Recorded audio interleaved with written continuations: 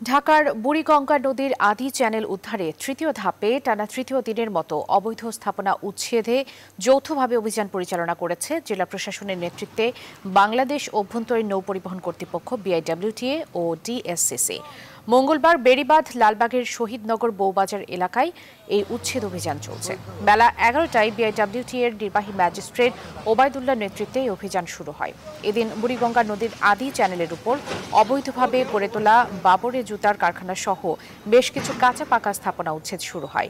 BIWT এর ঢাকা বন্দরের উপপরিচালক গুলজার আলী বলেন, উচ্চ আদালতের নির্দেশ মতে কয়েকটি বহুতল ভবন সহ চুয়াত্তরটি অবৈধ স্থাপনা উচ্ছেদে অভিযান পরিচালনা করা হচ্ছে। এর আগে গত দুই দিনে ত্রিশটি বহুতল ভবন সহ প্রায় অর্ধ শতাধিক অবৈধ স্থাপনা উচ্ছেদ করা হয়।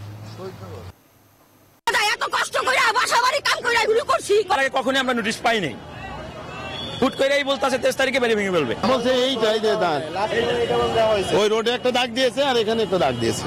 এই আমাকে সামনে খালি করে রাখতে বলছে আমি সামনেটা একটু খালি রাখছি যে ওইটা ভাঙলে আপনারটা ক্ষতি হইতে পারে।